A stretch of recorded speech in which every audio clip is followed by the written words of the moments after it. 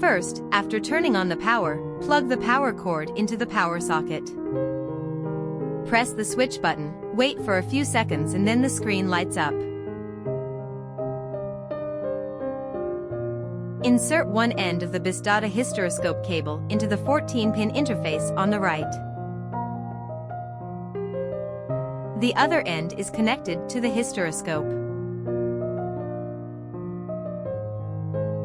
Enter the account password to log into the system. After the connection is successful, the front camera of the hysteroscopy will light up. There is a screen display on the screen to operate and use.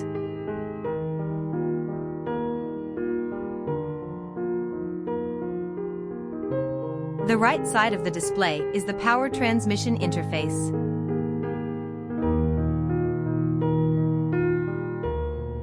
On the left is the data transmission interface.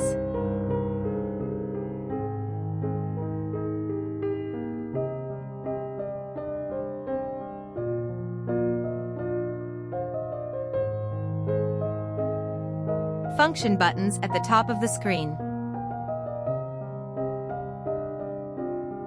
The rear bracket of the screen can be flexibly adjusted to the angle.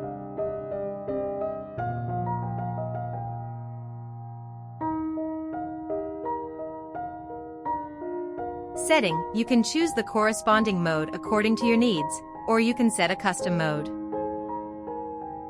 Playback, you can view stored photos and videos.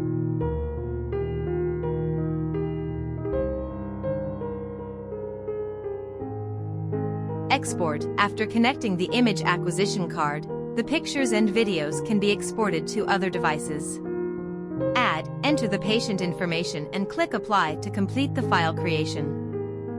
Only after completing the operation of creating a new patient can the shooting and video recording functions be used.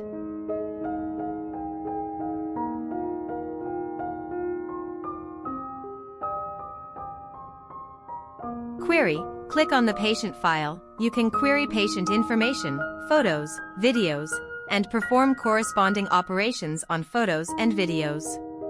System setting it can be switched between Chinese and English, and the software version, time, etc. can also be set.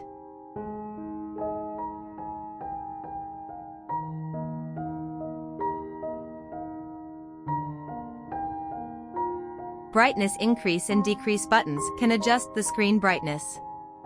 Press the video button to record, press it again to exit and save. Photo button to take and save pictures. Zoom in button to zoom in on the image frame. White balance button restores color. Mode button to quickly switch between desired modes.